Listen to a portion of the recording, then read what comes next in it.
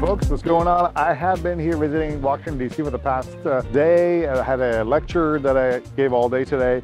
And a question came up that was kind of interesting. I figured that it would be a good place to discuss it right here in front of the Washington Monument because it really gets to the core of the issue that I want to discuss. Recently, if you recall, we had a symposium at Harvard Dental School called the Krakow Symposium in which Dr. Anibal Diogenes, uh, one of the forefront uh, researchers in our field, gave a presentation. And I had a conversation with the um, postdocs because in the presentation, Dr. Diogenes explained potentially a best kind of a preparation for canal therapy would be one in which you actually take a large size file and can go slightly past the apex.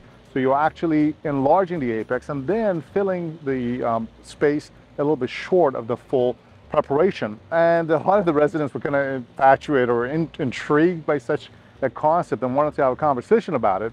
And today it came up also in the presentation that I was giving. And I wanted to kind of just kind of uh, sit here right next to the Washington Monument to talk about this kind of a misunderstanding what that concept is all about. As I have always explained, the main goal of endodontic instrumentation along with irrigation is not only to reduce the microbial burden and remove the biofilm, but to scrape off that last bit of that last apical three millimeter of the root of the biofilm that is persistent on the canal wall. In order to do that, you need to gauge the apical diameter and then be able to use a large enough apical uh, master file so that it's going to essentially clean up that area. And the analogy that I use today as well is the idea is in order to clean that space, it's akin to using a knife, which would be then the equivalent of the, the, the cutting edge of your NiTi rotary instrument. Uh, and now you're taking a burnt toast and you're trying to scrape off that burnt toast off of that. And that's what the files do.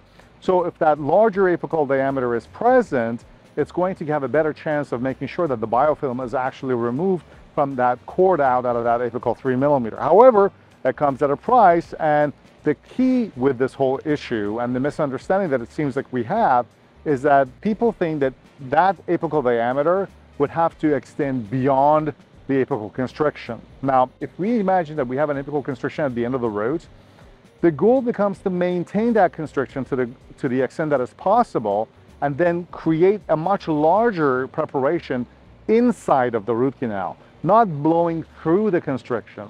And there, the, the, the misunderstanding here is that, well, why can't we just blow through the constriction and then fill short and that should just work out fine? Why not, right? I mean, after all, if you've been able to clean it out completely, filling out the root short after being fully clean is really no different than regeneration, right? I mean, that's essentially tissue growing back inside the root and that could do a good job. And that is true that it could potentially do that. The only problem here is that not only we don't know if we've fully cleaned out the canal, but also as you blow out through the constriction, what you end up dealing with is the problem of seal. Now, the larger the hole that your system has from one side of the canal to the other, the more difficult it is to seal it. And that's just basic geometry because what is a, a perimeter of a circle, right? It's 2 pi r.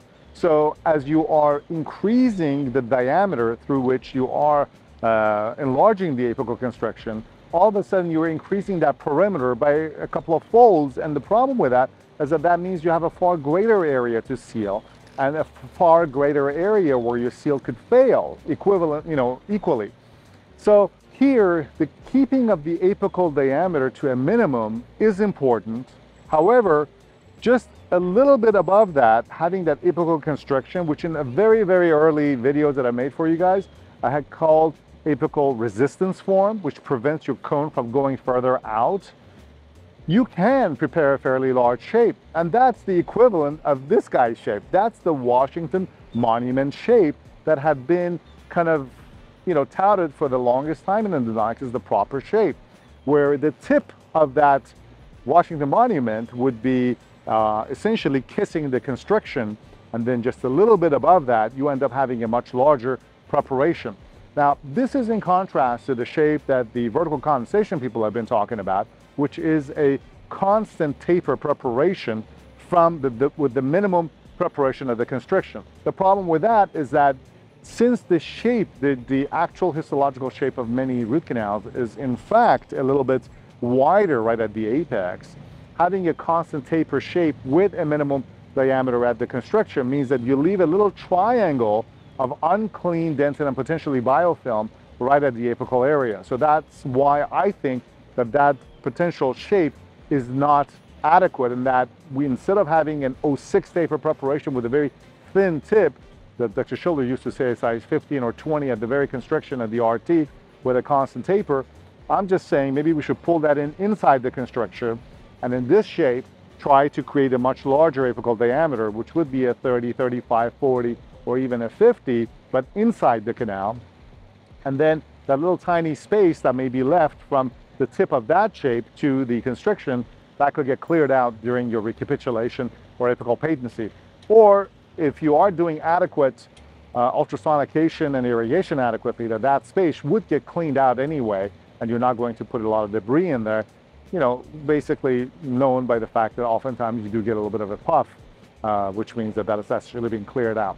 Anyway, this is a conversation which I'm sure is going to confuse the heck out of most people because it's kind of very, very detailed and very specific to a given point. But what I'm trying to say is that blowing through the constriction does not serve any good purpose, and that's not what we should be trying to do because we're going to increase the potential for leakage problem as well as potential injury to the apex and potential for all kinds of postoperative issues and pushing more debris out, pushing hypochlorite out, and uh, a lot of different, uh, you know, things that may not be as beneficial as the idea of just having a very large apical preparation.